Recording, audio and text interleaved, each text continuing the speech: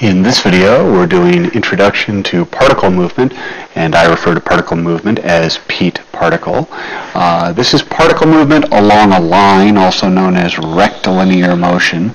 So let's imagine that we have a straight line and we have a particle on that line. Now, my particle is Pete.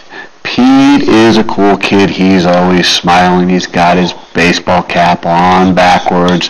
And he does all day long is he moves along this line. He moves to the right. He moves to the left. Sometimes Pete will stop and check out all the gorgeous ladies. Now, Pete doesn't have very good social skills, so when he looks at the girls, he usually gets himself into trouble, gets whapped upside the head, and runs away.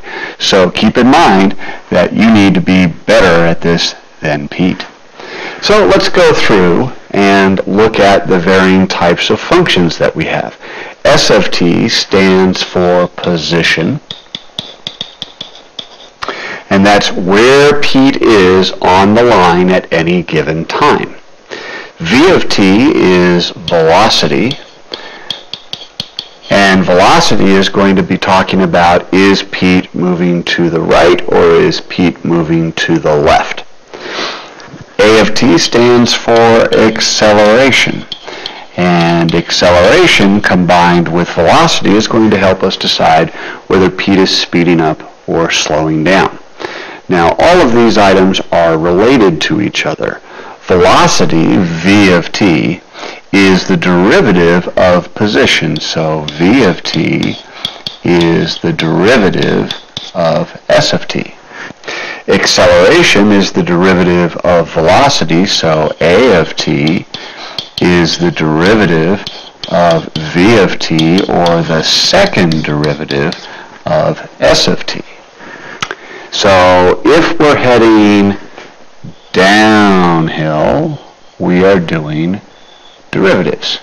Now, obviously the reverse of derivatives, which would be going uphill, is integration. So if we integrate a of t, excuse me, a of t dt, then we would get velocity plus c. If we integrate v of t dt, we would get position plus c. So again, they're related going backwards and forwards. Well, let's take a look at a couple of basic examples. Example 1. Given s of t is t cubed plus 3t squared find v of t and a of t, then find s of 1, v of 1, and a of 1. So this function describes Pete's travels along the line. So to find v of t, we would take the derivative of that, so s prime of t, which would be v of t, would be 3t squared plus 6t. We want a of t, which would be the second derivative of position or the derivative of velocity, so acceleration would be 6t plus 6. Now we want s of 1, v of 1, and a of 1. Well, s of 1 means we're going to plug into the original, which would be 1 cubed plus 3 times 1 squared, or 4. We now know that at time 1, Pete is at position 4 on his line. Think a number line. Uh, v of 1 would be plugging into our derivative of s of t, which was 3t squared plus 6t. So 3 times 1 squared plus 6 times 1 would be 9. So since that's a positive value, we now know that Pete is traveling to the right at time 1. Then let's get acceleration at 1. So if we plug into our acceleration function, we get 6 times 1 plus 6, or 12. Now if we compare velocity and acceleration, notice that they are both positive.